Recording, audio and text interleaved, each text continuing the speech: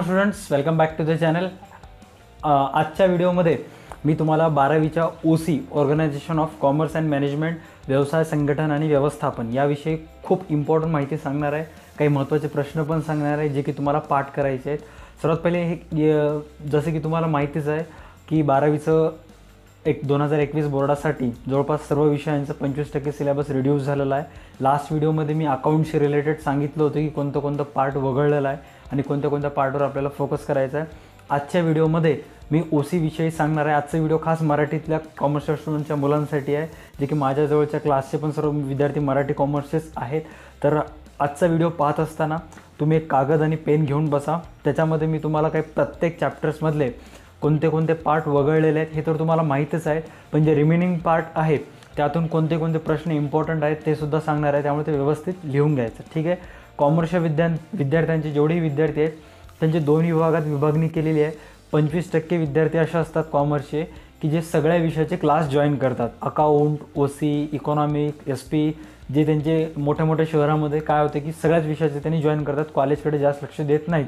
पण आपल्या ग्रामीण भागामध्ये कसं होते की मुलं फक्त अकाउंट्स क्लास लावतात आणि बाकीचे जे थेरॉटिकल सब्जेक्ट्स आहेत त्याचं कॉलेजच्या माध्यमातून आणि स्वतः सेल्फ स्टडी करून क्लिअर करतात. मग अशा मुलांचं व्हायलं काय की ह्यांना फक्त अकाउंटचं जर कवर होऊन चाललं आहे अकाउंटचे तर सिलेबस त्यांनी कवर करायलेत व्हिडिओज वगैरे पाहून पण मॅक्सिमम म्हणजे ओ सी सारखे सब्जेक्ट आहेत O C S P economics ह्यांचा सब्जेक्टसाठी प्रॉब्लेम यायला आहे. की यूट्यूबवर ते मॅक्सिमम लेक्चरचे व्हिडिओ अपलोड करायलेत पण थेरॉटिकल सब्जेक्टचं पार्ट कसं आहे की हे सगळे सब्जेक्ट्स कॉलेजमध्येच एवढं बोरिंग वाटतात face to face live lecture शिकत असताना. त्यातल्या त्यात ऑनलाईन शिकायचं म्हणल्यानंतर मॅक्सिमम मुलं काय करायलेत उगं नावाला व्हिडिओ ओपन करायलेत. तीस मिनटाचा व्हिडिओ असेल तर पाच ते दहा मिनिट पाहिले व्हिडिओला लाईक करायले आणि बस व्हिडिओ बंद करायला. मॅक्सिमम स्टुडंट सगळेच विद्यार्थी नाही पण काही मोजके स्टुडंट्स तरी असं करायलेत असं माझ्या निदर्शनास येत आहे. आणि काही काही स्टुडंट्स काही काही शिक्षक कसं करतात की व्हिडिओमध्ये मुलं लक्ष द्यायलेत का नाहीत म्हणून व्हिडिओमध्ये क्वेश्चन्स विचारतात आणि त्याचा आन्सर कमेंट सेक्शनमध्ये द्यायला सांगतात. तर हे सगळे विद्यार्थी शाने काय करायलेत की जे ऑलरेडी कमेंट्समध्ये जे आन्सर आहेत ते तिथून कॉपी करायलेत आणि आपला आन्सर त्याच्यामध्ये पेस्ट करायला आहेत असं जर करत असाल तर तुम्ही ह्यापैकी एखादा एक स्टुडंट असाल तर तुम्ही दुसरं तिसरं काही नसून स्वतःला तुम्ही धोका द्यायला टीचर्स त्याचं काम करायला पण तुम्ही तुमचं काम करत नाही आहात. ठीक आहे? एनिवे तो आपला पार्ट नाही आहे आपला पार्ट हे आहे की ओ सीबद्दल तुम्हाला इम्पॉर्टंट माहिती सांगणं. ओ सीमध्ये मी तसं अकाउंट शिक्षक आहे ओ सीचं काही इम्पॉर्टंट तेवढं माहीत नसतं. तरी पण जेवढं मला नॉलेज आहे तेवढं मी सांगतो. आपलं गेस कधी पण चुकत नाही. एकशे टक्का गेस आपला लागेलच. ठीक आहे? ओ सीमध्ये जो फर्स्ट चॅप्टर आहे प्रिन्सिपल्स ऑफ मॅनेजमेंट व्यवस्थापनाचे तत्व ह्याच्यामध्ये दोन पॉईंट्स वगळण्यात आलेले आहेत. मी रिपीट करतोय दोन पॉईंट्स वगळण्यात आलेले आहेत जे की तुम्हाला प्रॅक्टिस करायचं नाही आहे कोणते दोन पॉईंट्स वगळले आलेले आहेत? व्यवस्थापनाच्या तत्वाचे महत्त्व सिग्निफिकन्स ऑफ मॅनेजमेंट प्रिन्सिपल्स हा इग्नोर करायचा ह्याला लक्ष द्यायचं नाही आहे त्याच्यानंतर शास्त्रीय व्यवस्थापनाचे तत्व टेक्निक्स ऑफ सायंटिफिक मॅनेजमेंट हे दोन पार्ट्स वगळण्यात आ- गेलेले आहेत. ह्याच्याकडे लक्ष द्यायचं नाही. आता जो रिमेनिंग पार्ट आहे त्याच्यामधून सर्वात इम्पॉर्टंट पार्ट आहे हेनरी फेऑल यांच्या व्यवस्थापनाचे प्रशासकीय सिद्धांत.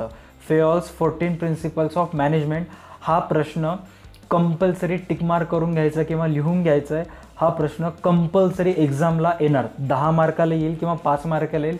हा प्रश्न असा आहे की वाचल्यानंतर मॅक्सिमम मुलाला पाठ होऊन जातं. त्यामुळे जास्तीत जास्त चान्सेस असे आहेत की हा प्रश्न तुम्हाला दहा मार्काला येईल. त्यामुळं फर्स्ट चॅप्टरमधला हा क्वेश्चन कंपल्सरी पाठ करून टाकायचा. ठीक आहे? त्याच्यानंतर सेकंड जो चॅप्टर आहे व्यवस्थापनाचे कार्य हा चॅप्टर सेकंड चॅप्टर एकही पार्ट ह्या चॅप्टरमधलं वगळण्यात आलेला नाही आहे त्यामुळं मी तुम्हाला अशी ॲडवाईस देईन की हा चॅप्टर पूर्णपणे तुम्ही रिव्हिजन्स करून घ्या. याच्यामध्ये नियोजन आहे नियंत्रण आहे प्लॅनिंग ऑर्गनायझेशन मॅनेजमेंट खूप सारे आहेत. त्यामुळं हा पार्ट थोडंसं चॅप्टर हा अवघड आहे. पण मी तुम्हाला अशी ॲडवाईस देईन की हा चॅप्टरमधलं एक ना एक अक्षर तुम्हाला पाठ असायला पाहिजे. प्रत्येक पॉईंटचे मुद्दे तुम्हाला पाठ असायला पाहिजे.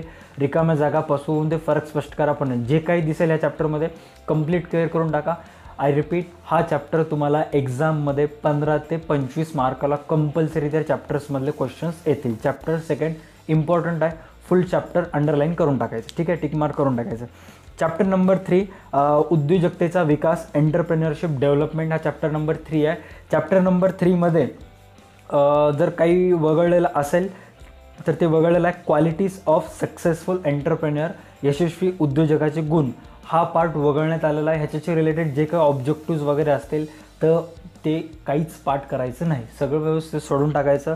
प्लस जे रिमेनिंग पार्ट आहे आता चॅप्टर नंबर थ्रीमधलं रिमेनिंग पार्ट आहे त्याच्यामधल्या सर्वात इम्पॉर्टंट क्वेश्चन्स आहेत दोन. त्या दोनपैकी एक ना एक क्वेश्चन्स कंपल्सरी एक्झामला येणार म्हणजे येणार. हां चॅप्टर नंबर तीनमधलं दोन क्वेश्चन्स कंपल्सरी एक्झामला दोन्हीपैकी एक येणार. त्यामधलं फर्स्ट आहे उद्योजकाचे वैशिष्ट्ये आणि उद्योजकाची कार्य. ह्या दोन्हीपैकी एक क्वेश्चन्स पाच ते दहा मार्काला कंपल्सरी येणार. त्यामुळं पाठ करून टाकायचं. ठीक आहे? तुम्ही ह्याच्याशी रिलेटेड व्हिडिओ पहा ना पहा पण हा क्वेश्चन्स कंपल्सरी पाठ करून टाकायचे. आहे उद्योजकाचे वैशिष्ट्य किंवा उद्योजकाची कार्य. ठीक आहे? आता तुम्हाला वाटत असेल की हा व्हिडिओ फक्त दोन हजार एकवीसला जे मुलं एक्झाम्स देणार आहेत त्यांनाच उपयोगी पडेल. असं नाही आहे इथून समोर जे काही एक्झाम्स होतील बोर्डाचे त्या पण विद्यार्थ्यांना सूचना आहे की हे जे क्वेश्चन्स आहेत मी सांगायलो ते कंपल्सरी पाठांतर करा. तुम्हाला इन फ्युचरमध्ये कामाला येतील. ठीक आहे? त्याच्यानंतर question number sorry chapter number four chapter number four हा टोटल सिलेबसमधल्या ओसीचा इम्पॉर्टंट आहे आणि मोठा चॅप्टर आहे. त्यातले दोन मेन पॉईंट्स त्यांनी वगळून टाकलेले आहेत. त्यातलं वाहतूक पॉईंट फोर पॉईंट सेवन आणि संप्रेषण communication point four point nine हे दोन पार्ट पूर्णपणे वगळण्यात आलेले आहेत. आता ह्या पार्टला सोडून जेवढेही चॅप्टर असेल चॅप्टर नंबर फोरमध्ये पॉईंट फोर पॉईंट सेवन आणि पॉईंट फोर पॉईंट नाईन हे एवढं सोडून जे काही तुम्हाला दिसेल ते पूर्णच्या पूर्ण पाठ करून टाकायचं आहे त्यातले वीस ते तीस मार्क कंपल्सरी आहेत. जर काही इम्पॉर्टंट असेल या चॅप्टरमध्ये पाठ करायचं तर ते क्वेश्चन्स टिक मार्क करून घ्या. चॅप्टर नंबर फोरमधले तीन क्वेश्चन्स मी सांगणार आहे. तिन्हीच्या तिन्ही इम्पॉर्टंट आहेत. सब सर्वात पहिलं प्रश्न आहे चॅप्टर फोरमधलं बँकाचे प्रकार विम्याचे तत्व व विम्याचे प्रकार आणि गोदाम गोदामाचे प्रकार. बँकेचे प्रकार विम्याचे तत्व व प्रकार आणि गोदाम किंवा गोदामाचे प्रकार. ह्याच्याशी रिलेटेड जे काय भेटेल ते पूर्ण पाठ करून टाकायचं. बँकाचे प्रकार कंपल्सरी एक्झामला पडते. विम्याचे तत्व किंवा प्रकार दोन्हीपैकी कंपल्सरी क्वेश्चन्स पडते आणि गोदामाचे प्रकार कंपल्सरी यावेळेस येणार आहे. गोदामाचा प्रकार सोपं आहे. शीतगृहे असे दोन तीन शासकीय दो गो- गोदामे करदेय गोदामे करदत्त गोदामे असे दोन तीन गोदामाचे प्रकार आहेत. पाच सहा प्रकार आहेत. त्यापैकी मला जे पाठ आहेत मी ते सांगितलेलं आहे. ते इम्पॉर्टंट आहेत. ते क्वेश्चन्स कंपल्सरी पाठ करून टाकायचं. चॅप्टर नंबर फोरमधले तीन क्वेश्चन्स तुम्हाला सर्वात इम्पॉर्टंट सांगितलेले आहेत. बँकाचे प्रकार विम्याचे तत्व व प्रकार आणि गोदाम व गोदामाचे प्रकार. ठीक आहे? दॅट्स इट त्याच्यानंतर चॅप्टर नंबर फाईव्ह व्यवसायातील उभरत्या पद्धती. चॅप्टर फुल चॅप्टरच तुम्ही रिकवर केलं तर बरं होईल कारण हा चॅप्टर इम्पॉर्टंट आहे. थोडंसं कम्पॅरेटिव्हली जे अगोदरचे चॅप्टर आहे त्यापैकी हा चॅप्टर थोडंसं हार्ड आहे. पण प्रॅक्टिस करा सोपं जाईल. त्याच्यामध्ये ऑनलाईनचे सर्व रिलेटेड बँकिंग ट्रान्झॅक्शन्स वगैरे दिलेले आहेत. ऑनलाईन जर B to B B to C असं बहु खूप काही पॉईंट्स आहेत. सोप वाचून पाहायचं सोपं वाटलं ठीक आहे अदरवाईज इग्नोर करून टाकायचं. त्याच्यानंतर चॅप्टर नंबर सहा. चॅप्टर नंबर सहामध्ये पॉईंट सिक्स पॉईंट फोर व्यवसायाचे नीतिशास्त्र बिझनेस इथिक्स हा पॉईंट पूर्णपणे त्यांनी वगळलेला आहे. आता ह्याला सोडून जर काही इम्पॉर्टंट असेल तर टिकमार करून घ्या. पॉईंट सहा पॉईंट दोन आणि सहा पॉईंट तीन.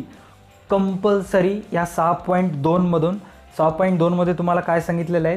की सोशल रिस्पॉन्सिबिलिटीज वेगवेगळ्या समूहाप्रती असलेली जबाबदारी आहेत ज्याच्यामध्ये समाजाप्रती आहेत ग्राहक ग्राहकाप्रती आहेत मालकाप्रती आहेत कर्मचाऱ्यांप्रती आहेत. हे जेवढेही पाच सहा समूह जी जबाबदारी दिलेले आहेत या पाच सहापैकी कोणत्या तरी दोन घटकांवर एकतर तुम्हाला समाज आणि ग्राहकाप्रती विचारेल किंवा मार्काप्रती किंवा कर्मचाऱ्याप्रती कंपल्सरी कोणत्या तरी दोन घटकाप्रती जबाबदारी विचारण्यात येतील क्वेश्चन्समध्ये एक्झाममध्ये बोर्डाच्या एक्झाम्समध्ये मी कॉलेजच्या एक्झाम्समध्ये म्हणत नाही बोर्डाच्या एक्झाम्समध्ये म्हणत आहे. त्यामुळंच पॉईंट सहा पॉईंट दोन एका शब्दातल्या शब्दापासून ते मुद्द्याच्या मुद्द्यापर्यंत टोटल कंप्लीट करून टाकायचं. सहाव्या चॅप्टरमध्ये पॉईंट क्रमांक सहा पॉईंट दोन कंपल्सरी तुम्हाला यायला पाहिजे. आणि त्याच्यानंतर पॉईंट सहा पॉईंट तीन. सहा पॉईंट दोन आणि सहा पॉईंट तीन हे दोन पॉईंट सहाव्या चॅप्टरमधलं कंपल्सरी क्लिअर करून टाकायचं. ठीक आहे? त्याच्यानंतर सातवं चॅप्टर आहे कन्झ्युमर प्रोटेक्शन ग्राहक संरक्षण. त्याच्यामध्ये ह्यांनी दोन महत्त्वाचे प्रश्न पॉईंट्स आहेत ते वगळलेले आहेत. पॉईंट नंबर सात पॉईंट तीन हा पूर्णपणे वगळण्यात आलेला आहे. जर तुमच्याजवळ पी डी एफ असतील किंवा बुक्स असेल तर पाहू शकता. पॉईंट सात पॉईंट तीनमध्ये त्याने काय सांगितलेलं आहे की ग्राहकाच्या संरक्षणाची गरज व महत्त्व ग्राहक संरक्षणाची गरज व महत्त्व हा पूर्ण पॉईंट त्यांनी वगळण्यात आलेला आहे. आता हे सोडल्यानंतर जर काही इम्पॉर्टंट असतील पॉईंट क्रमांक सात पॉईंट तीन आणि सात पॉईंट पाच ग्राहकाचे संरक्षणाची गरज महत्त्व व ग्राहकाच्या संरक्षणाचे जबाबदाऱ्या ग्राहकांच्या जबाबदाऱ्या सॉरी ग्राहकांच्या जबाबदाऱ्या need and importance of consumer protection and responsibilities of consumer हे दोन पॉईंट्स त्या चॅप्टरमधून पूर्णपणे वगळण्यात आलेले आहेत. आता सातव्या चॅप्टरमध्ये सर्वात सोपं चॅप्टर असा चॅप्टर आहे की जे सर तुम्हाला शिकवण्याची गरज नाही आहे बेसिक नॉलेज आहे तुम्ही जर वाचलं तरी तुम्हाला लक्षात येईल. तर सातव्या चॅप्टरमध्ये कोणते कोणते पॉईंट्स महत्त्वाचे आहेत ते मी सांगणार आहे. व्यवस्थित टिकमार्क करून घ्यायचं. पॉईंट क्रमांक सात पॉईंट चार. Point number seven point four ग्राहकाचे अधिकार आणि हक्क. कंपल्सरी एक्झाममध्ये येणार आहे. ग्राहकाचे अधिकार आणि हक्क. त्याच्यानंतर सर्वात सर्वात सर्वात महत्त्वाचं पॉईंट नंबर सात पॉईंट सात.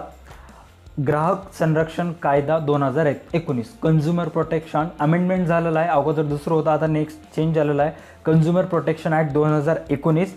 ह्याच्यामध्ये कायद्याविषयी पूर्ण माहिती तर तुम्हाला दिलेलीच आहे. जे तुम्हाला तुमच्याशी रिलेटेड इम्पॉर्टंट असेल ती माहिती दिलेली आहे. त्याच्यानंतर जर काही महत्त्वाचं असेल तर ह्या चॅप्टरमध्ये स्टेट डिस्ट्रिक्ट नॅशनल कमिशन ज्याला जिल्हा मंच राज्य आयोग आणि राष्ट्रीय आयोग म्हणता चॅप्टरच्या एंडमध्ये जर तुम्ही पाहाल तर तिथे तुम्हाला फरक स्पष्ट करा दिलेला आहे तिन्हीचं. त्या तीनपैकी कोणत्या तरी दोनचं तुम्हाला एक्झाममध्ये विचारते. एक तर तुम्हाला जिल्हा मंच किंवा राज्य आयोग विचारेल राज्य आयोग किंवा राष्ट्रीय आयोग विचारेल किंवा जिल्हा मंच आणि राष्ट्रीय आयोग असं कोणतंही विचारू शकते. कंपल्सरी त्याला आय एम पी म्हणून करून ठेवा. एक्झाममध्ये त्या फरक स्पष्ट करा. येणार. मी आत्ताही लिहून देतो. कारण जेव्हापासून ओ सी सब्जेक्ट आहे त्या प्रत्येक वर्षी ह्या फरक स्पष्ट करा. आलेला आहे. एकही वर्षी गॅप झालं नाही. झाला असेल एखाद्या वेळेस पण तुमच्या वेळेस ते होणार नाही आहे कारण तुमच्या वेळेस लेक्चर्स कॉलेजेस रेग्युलर झालेले नाही आहेत त्यांना सोपं सोपं पेपर्स काढून मुलांना पास करायचं असते त्यामुळं हे फरक स्पष्ट करा. कंपल्सरी येईल. Difference between district state national commission त्याच्यानंतर ग्राहक संरक्षणाच्या पद्धती. त्या चॅप्टरमधला नेक्स्ट इम्पॉर्टंट क्वेश्चन ग्राहक संरक्षणाच्या पद्धती. सातव्या चॅप्टरमधले मी तुम्हाला तीन इम्पॉर्टंट क्वेश्चन्स सांगितलेले आहेत. कोणते कोणते आहेत मी रिपीट करतो आहे ग्राहकाचे अधिकार आणि हक्क कन्झ्युमर प्रोटेक्शन ॲक्ट दोन हजार एकोणीस ग्राहक संरक्षण कायदा दोन हजार एकोणीस आणि ग्राहक संरक्षणाच्या पद्धती. हे तीन प्रश्न कंपल्सरी पाठ करून टाका. इम्पॉर्टंट आहे तीनपैकी दोन कंपल्सरी एक्झामला येतील. त्याच्यानंतर चॅप्टर नंबर आठ हा अगोदर नव्हतं. यावर्षी जॉईन झालेला आहे ओ सीच्या सिलेबसमध्ये आणि याचं अतिशय इम्पॉर्टंट चॅप्टर आहे. खास करून आपल्या देगलूरमध्ये जे स्टुडंट्स आहेत त्यांच्यासाठी कारण आपल्या देगलूरमध्ये मार्केटिंग पण सब्जेक्ट आहे आणि मार्केटिंग सब्जेक्टमध्ये पण विपणन हा पूर्णच्या पूर्ण सिलेबस कवर केलेला आहे त्याच्यामध्ये. ठीक आहे? तर आठव्या चॅप्टरमध्ये काही वगळलं नाही आहेत आठव्या चॅप्टरचं टोटल चॅप्टर तुम्हाला कंपल्सरी करून टाकायचं. जर तुम्ही मार्केटिंगचे स्टुडंट्स असाल तर ह्या चॅप्टरमधलं प्रत्येक वळ तुम्हाला पाठ असायला पाहिजे. त्यातल्या त्यात तुमचं जर मार्केटिंग नसेल एक्स सर्वसाधारण जनरल स्टुडंट्स असाल तर तुम्ही काय करायला पाहिजे? तीन या चॅप्टरमधले इम्पॉर्टंट क्वेश्चन सांगतो. त्या तीनपैकी एक कंपल्सरी तुम्हाला येणार आहे बोर्डाला बोर्ड दोन हजार एकवीसमध्ये. तो पहिला क्वेश्चन आहे चॅप्टरमधलं सर्वात इम्पॉर्टंट विपणन व विक्री यातील फरक. कंपल्सरी येणार आहे तुम्ही लिहून घ्या. मी दोन क्वेश्चन्स कंपल्सरी गॅरंटीड सांगतो जे की येतील. त्यातलं पहिलं होतं जिल्हा मंच राज्य आणि राष्ट्रीय ह्यातील फरक स्पष्ट करा. त्याच्यानंतर चॅप्टर नंबर आठमधलं डिफरन्स बिटवीन विपणन अँड विक्री मार्केटिंग अँड सेल्समॅनशिप ह्या दोन्हीमधलं फरक तुम्हाला सांगायचा आहे. पाच मार्काला फरक स्पष्ट करा येईल. त्याच्यानंतर दहा मार्काला किंवा पाच मार्काला उरलेले दोन क्वेश्चन्स आहेत त्या चॅप्टरमधले एक आहे विपणनाचे कार्य आणि एक आहे विपणन मिश्र. तर या दोन्हीपैकी एक ना एक क्वेश्चन तुम्हाला येतील. ठीक आहे? हे आठ चॅप्टर्स आहेत ओसीमधले जे काही क्वेश्चन्स इम्पॉर्टंट आहे ते तुम्हाला सांगितलेलं आहे. आय होप तुम्ही लिहून घेतला असताल.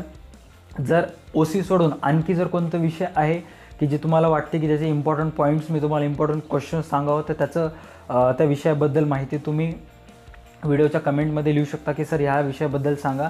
प्लस आणखी जर मला काही इम्पॉर्टंट क्वेश्चन्स सापडले मागच्या स्टु- वर्षीच्या स्टुडंटसोबत मी आणखी डिस्कशन करून मी एवढे क्वेश्चन्स तर काढलेले आहेत. ह्याच्याशी व्यतिरिक्त जर काही सापडले तर मी ते कमेंट सेक्शनमध्ये पिन कमेंट्समध्ये देईन. ठीक आहे?